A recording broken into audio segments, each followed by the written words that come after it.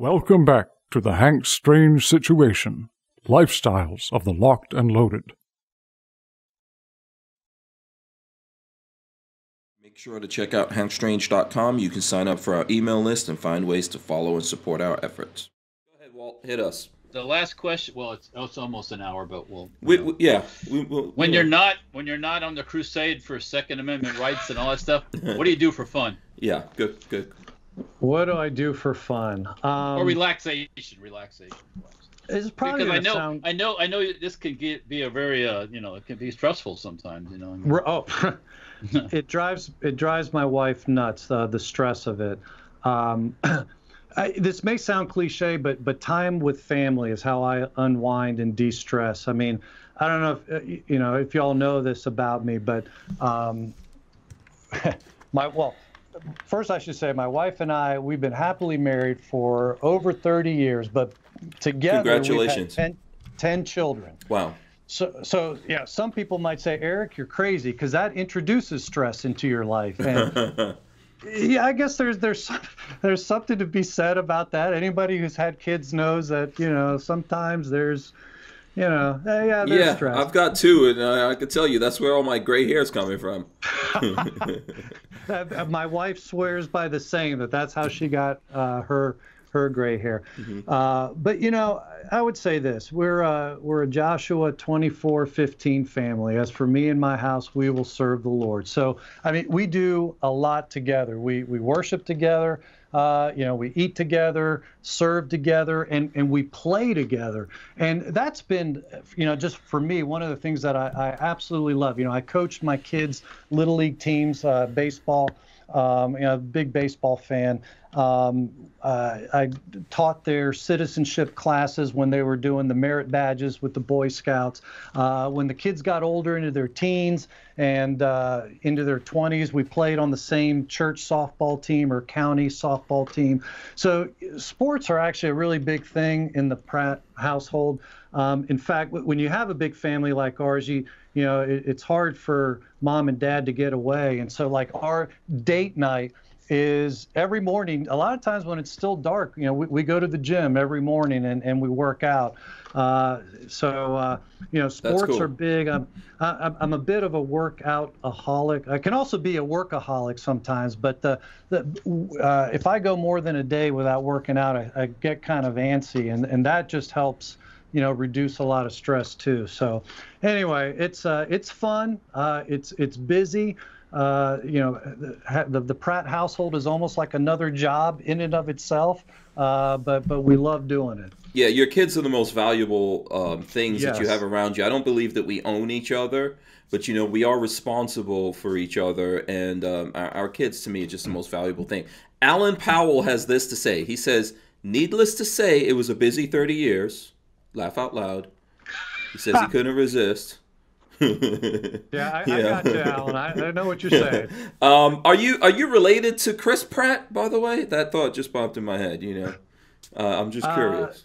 Yeah, we, we every time he puts out a movie, we ask ourselves that because uh, you know we want to know if we're in the will. Yeah, yeah, I'm telling you, that's that's the guy from Guardians of the Galaxy. Yeah. Uh, yeah. So you can't you can't claim ownership going to the movie theater. No, sadly no. okay, I, I had to I had to ask that one, and I know we're at eight o'clock, but if I could just squeeze in one more one more question for you. Sure. um, with uh, with some of the crazy anti-gun bills that are being put forward right now in Congress that are so ridiculous, right? When we read through these bills here on air, um, I mean, it's it's ridiculous and laughable. Should we be taking them seriously? Or not? Like, I'm not saying we're not taking it seriously, but there's some folks out there it's so crazy and ridiculous that they're thinking, yeah, there's, there's no way this There's can no be. way. There's no Yeah. way.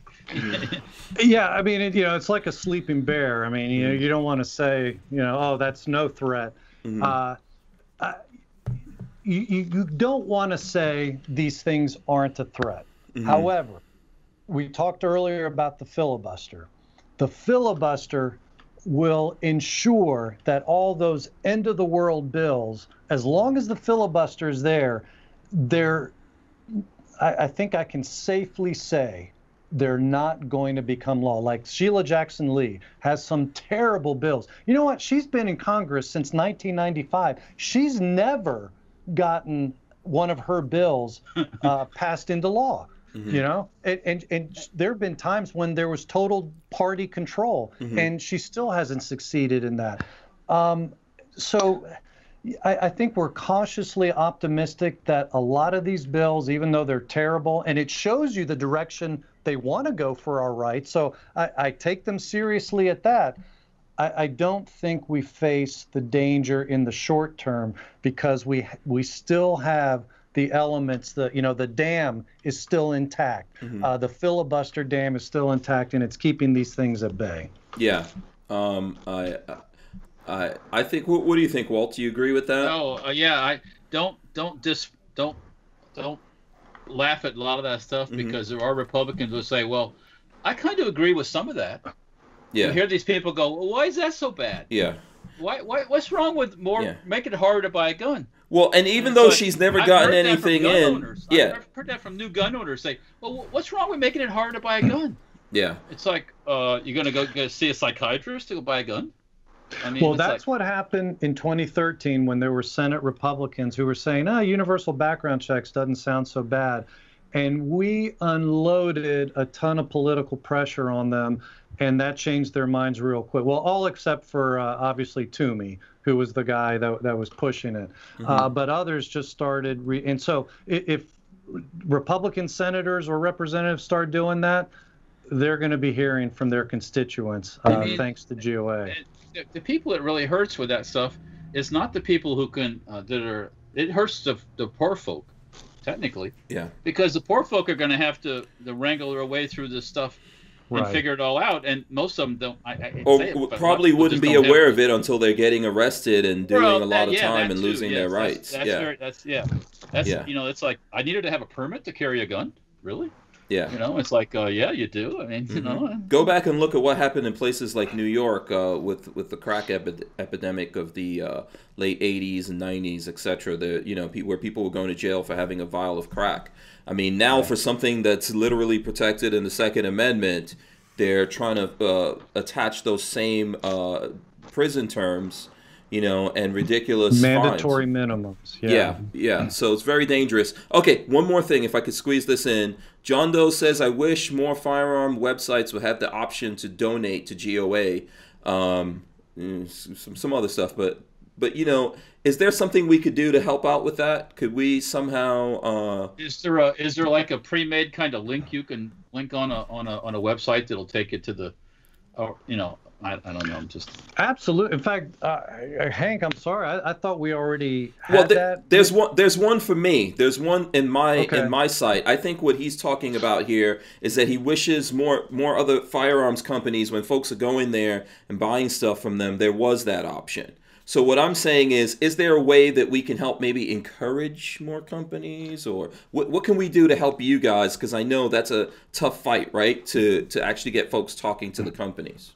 Yeah, actually, and actually, we are working with industry folks, and that's mm-hmm. a great idea. But it probably, uh, if, um, and I'm sorry, I forget forget the viewer's well, name, but if he mm-hmm. if John he Doe. would like this, John, okay, oh, John Doe, if he'd yeah. like to see that, uh, maybe start asking. Uh, mm-hmm. the the industry companies uh, because if you know if that's what the constituents are asking for uh, then they'll they'll make that happen. Yes, and by the way, Lola is putting up our link, uh, which is uh, you can it's for twenty bucks you can get a membership to GOA, and and Lola's putting it up there. Uh, by the way, Lola and I are lifetime uh, members of the GOA. You Thank know? you, Hank. Yeah, I, I really and appreciate Lola. it. Thank yes. you, Lola. Yeah, I really especially appreciate it that you guys are putting most of the money towards fighting for this stuff. So my membership card, I could basically draw in whatever I want to. So don't you know i mean i'm gonna get creative with that when, that time comes. But you guys can find that link in the description. Uh, lola just threw it up. I'll put it up there on the screen for anyone wants to see it. Uh, i don't want to hold erich here too long. I know he's got things to do. Um, thanks so much for coming on erich. Um, what what Absolutely. what what final words would you like to leave our audience with here before you go Oh man. Um, well, let me just say to you again, Hank. I'm just very grateful uh, that you're doing this. I know this is. Uh, I mean, you're only doing two hours a day, but uh, that's a lot of work. Uh, what you're doing in the prep time, and so you're you're keeping us informed. Um, and so anyway, we're very grateful to you. Thank you for helping uh, drive membership because that's what keeps us on the front lines. And and I should mention, you know, that twenty dollars that uh, that that you're doing there. I mean, that that's a discounted membership, and yet people will get you know full membership benefits for the year mm-hmm. uh, through that. So yeah, uh, you know there's there's no second class uh, members here. Absolutely, sign up and, and do what you can do. Um, I, thank you so much for saying that. I really do appreciate you guys. Uh, there's lots of folks that you have working over there very hard. John Crump's here all the time. Uh, we have we had Luis Valdes come on recently here in Florida. I would like to see uh, more states uh, get involved. I know that's more of a process than what I'm saying. Sure. Uh, Jordan Stein is amazing. I, I wish I could clone him. yeah, we do too. yeah, he's an amazing, amazing person, um, and I look forward to see what he does in the future. He's a great kid. Uh, uh you know, you guys should be very proud of him and John and uh, you know all the other folks out there. Antonia Okafor has been on here as yes. well. So just a big shout out to everyone at GOA, and thanks so much, Erich, for coming on. I really appreciate you doing Absolutely. this. Absolutely. Hope to see you here again. Walt, you got to say right. anything before we get out? I'm sorry. Go ahead, Erich. Yeah, yeah. Just keep up the good fight. You know. I mean, thank you. And sir. I'd like to say something about these frivolous. You think frivolous bills? Just don't get, don't think they are because Mm-hmm. If they pick them apart and attach those ideas on the other things, it's not so frivolous. So right. Yeah.